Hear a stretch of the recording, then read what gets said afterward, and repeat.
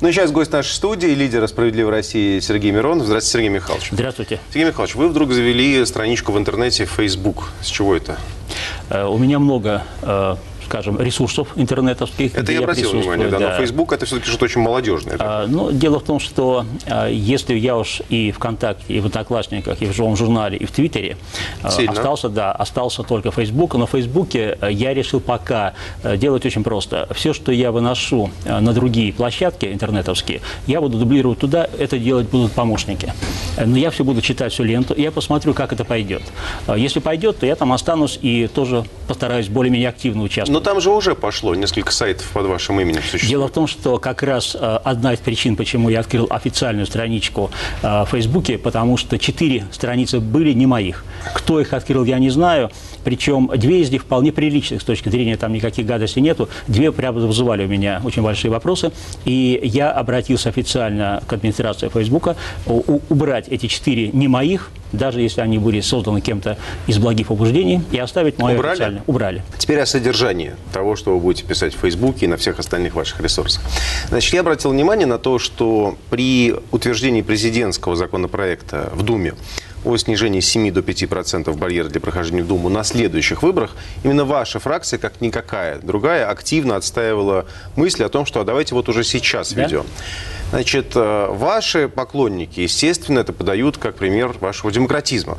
Ваши противники говорят, э, а не свидетельствовали это того, что Миронов сомневается в рейтинге своей партии, ему хорошо сдвинуться. Что вам есть на это ответить? Конечно, мы заботимся о реальной демократичности и о реальной политической конкуренции. Но это вы так обязаны были ответить. А А, все-таки Я что у вас отвечаю абсолютно искренне. Дело в том, что наша партия уверенно проходит, и это знают наши оппоненты прежде всего, которые старательно, регулярно печатают якобы какие-то псевдорейтинги, где у нас там то ли 4, то ли 5 процентов. Я могу сказать еще раз, реальный рейтинг сегодня, даже не сегодня, это на старте избирательной кампании в начале сентября, это 9 процентов. Это вы откуда знаете? Какие-то закрытые опросы, это закрытые которые сами опросы, проводите? это закрытые опросы, которые проводим не мы.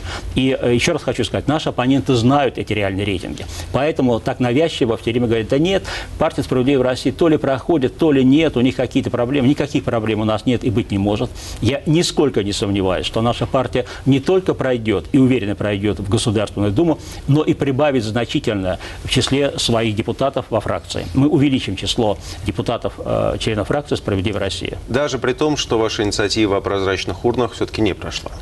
А, Не только эта инициатива не прошла, и предложение установить веб-камеры э, в комнате, где ведется подсчет голосов, не проходит. Наше предложение по изменению порядка формирования участковых комиссий, чтобы только партийные представители были в этих комиссиях, а не подчиненные бюджетники, которые сегодня работают в участковых комиссиях, подчиненных тех, кого перебирают. Потому что перебирают в основном чиновников, а у нас и все чиновники в «Единой России». Э, Это неправильно. И, наконец, э, опять же, не прислушиваясь к нашему мнению, э, до сих пор остаются так называемые открепительные талоны и возможность некого досрочного голосования. Мы считаем, что это лазейки, которые могут, скажем так, искривить реальные волеизъявления граждан. Видите, как я осторожно сказал.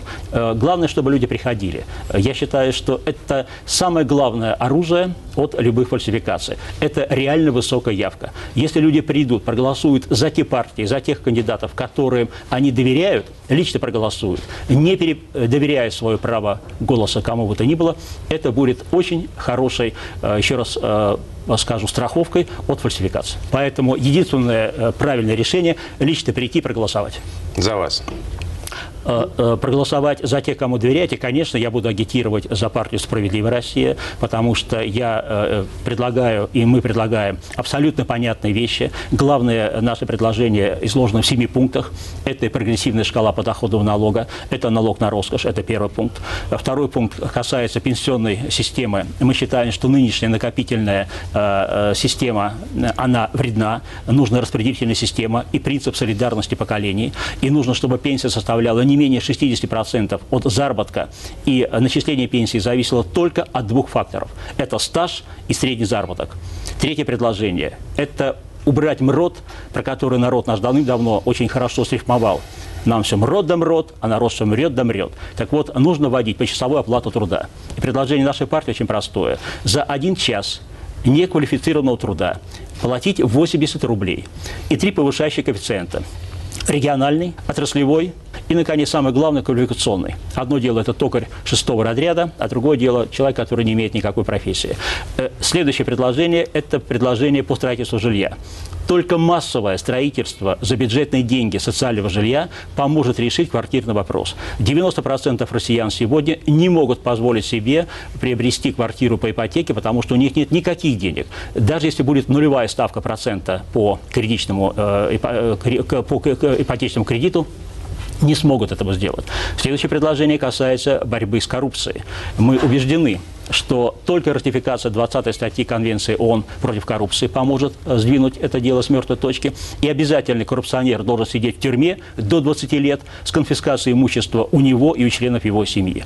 Ну и, наконец, природная рента должна поступать прямиком в семейные бюджеты, а не оседать в карманах олигархов. И последний политический э, лозунг, политическое требование. Прямые выборы губернаторов, прямые выборы мэров всех городов, прямые выборы членов Совета Федерации. Семь пунктов. Сейчас резко сменим тему, но я не могу не пройти пройти мимо такой истории на этой неделе, которая всех взбудоражила, хотя, строго говоря, она заграничная.